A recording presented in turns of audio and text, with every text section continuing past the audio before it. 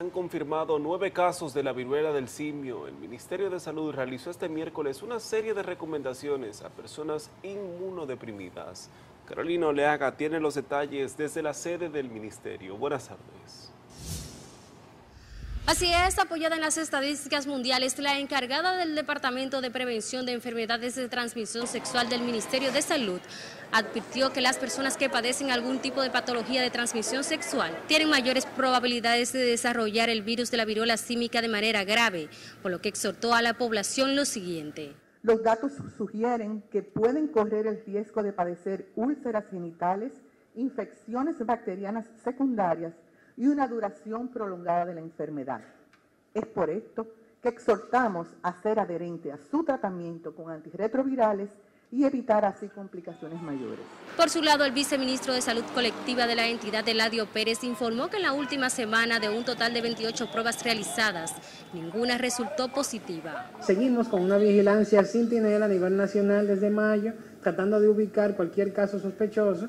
En la actualidad, solamente en la semana pasada para acá, hemos hecho 28 pruebas, de las cuales todas están negativas. Pérez además indicó que dos personas afectadas con la enfermedad continúan hospitalizadas, aunque aclaró que ambas están culminando el periodo de cuarentena y que en los próximos días podrían ser despachados a sus casas. Ya mañana será dado de alta uno, probablemente el viernes el otro, por cumplir el periodo de aislamiento. Ha tenido un buen comportamiento en el caso de ellos, son muy cooperantes. Hasta el momento en el país se han confirmado un total de nueve casos de viruela símica. Es todo lo que tengo por el momento. Vuelvo con ustedes. Carolina, gracias y continuamos en el Ministerio de Salud, cuyas autoridades pidieron a la población no alarmarse por la presencia de arañas violinistas, ya que aseguraron que no existen evidencias de ataques. Ángel Solís, encargado nacional de control de vectores, explicó que la, en conferencia de prensa que tras visitar la línea noroeste y entrevistar a los afectados, no se comprobó que sus lesiones correspondan a mordeduras del arácnido. Recomendó a la población acudir de inmediato a un centro de salud en caso de tener sospechas de mordeduras o picaduras por insectos. Estamos a la población, si es cierto que hay esta gran eh, proliferación de las arañas picando a todo el mundo, que eso es increíble, entonces, si es así, pues tan pronto le pique un arranque para salud, no se unte nada, arranque para el, centro de salud más cercano y, si es posible, colete la araña y llévela en un frasco con alcohol. Las autoridades además exhortaron a la ciudadanía a mantener la higiene en sus hogares. Un total de 409 personas dieron positivos al COVID-19 de las 1.826 muestras procesadas en las últimas 24 horas, con lo que ya suman 639.127 afectados desde el comienzo de la pandemia. La tasa de positividad diaria se ubicó en 22.40%. El Ministerio de Salud indicó en su boletín diario que la tasa de ocupación hospitalaria se encuentra en 1.6%. Las unidades de cuidados intensivos están en 2.2%, con 0.2% de ventiladores en uso. La institución no reportó nuevas muertes a causa de la enfermedad, por lo que el número de víctimas se mantiene en 4.384, con un nivel de letalidad de un 0.69%. Salud Pública indicó también que desde el inicio de la pandemia, 633.183 personas se han recuperado de la enfermedad. Cambiamos de tema ante la escalada de violencia que vive Haití y el bloqueo del paso fronterizo en Elías Piña por parte de manifestantes haitianos que obstaculizan el intercambio comercial. El comandante del ejército realizó este miércoles un recorrido para garantizar la seguridad en la zona fronteriza de Elías Piña. Peter Pablo Mateo nos amplía más detalles desde el paso de Carrizal. Buenas tardes, Peter. Gracias, buenas tardes. El comandante general del ejército supervisó la zona fronteriza en la provincia de Elías Piña.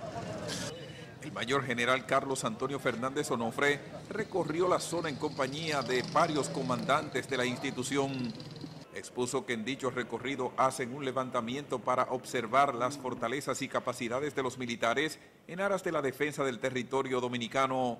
Ver sus capacidades y poder incrementar la, parte operativa de nuestros miembros en esta zona. para de esa manera darle fiel cumplimiento a lo consignado en nuestra Carta Magna de defender el territorio nacional.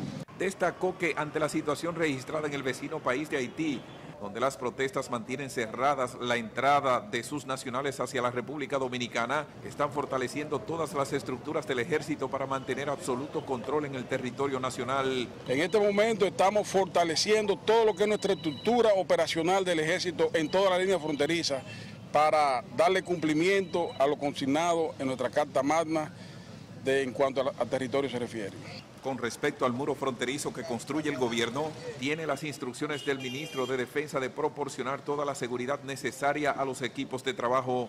Tanto los nacionales haitianos como los dominicanos que realizan actividades comerciales en el mercado binacional de Elías Piña se quejaron por la situación que impide a los extranjeros vecinos realizar sus labores. Lo que ellos están haciendo son nosotros los pobres. Afecta a los pobres. Afecta a los pobres porque ellos tienen lo de ellos de lo de ellos. Los hijos de ellos están está en el colegio, en el país de fuera. Solamente que está parado el comercio binacional por ese problema ocasionado por ellos. Los haitianos siempre es un lío, un lío, un lío. Por ello, ellos piensan que está haciendo algo bueno, mentira, es por ello. El comandante general del ejército también dijo que la institución trabaja en coordinación con la Dirección General de Migración en cuanto a las labores de repatriación de ilegales. Según dijo, tienen instrucciones de la superioridad de trabajar para mantener controlada la zona fronteriza. De mi parte es todo, ahora regreso con ustedes al centro de noticias. Gracias por el reporte, Peter. Agentes migratorios detuvieron a 53 haitianos indocumentados durante operativos en las comunidades linieras de Guayubín, Calla Chupetón, Pueblo Nuevo, Piloto y Manga. La Dirección General de Migración informó que en el operativo fueron puestos en custodia 44 hombres y 9 mujeres. El ex canciller Miguel Vargas Maldonado advirtió este miércoles que la crisis económica y de seguridad que afecta a Haití, donde bandas armadas controlan parte del territorio, representa una amenaza a República Dominicana que debió ser analizada con urgencia reiteramos aquí nuestra advertencia acerca de la posibilidad cierta de una guerra civil en Haití de imprevisibles consecuencias para la República Dominicana. El también presidente del PRD dijo que el gobierno debe pasar del discurso a los hechos ante esta situación. Y recuerde que usted puede seguirnos en nuestra página de Twitter, arroba SN 24 horas. Ahí podrá encontrar todo nuestro contenido e informaciones rápidamente. Bueno, y a propósito, la pregunta de Twitter la ven en pantalla. Con este asalto a mano armada en un residencial donde vive una senadora y su esposo, ¿cree usted que ya estamos en presencia de una nueva modalidad delictiva? No olvide responder con la etiqueta Opina SIN. Como siempre le pedimos que lo haga con respeto, sin injurias, difamaciones ni malas palabras. Tras la pausa, una vez más, aplazan...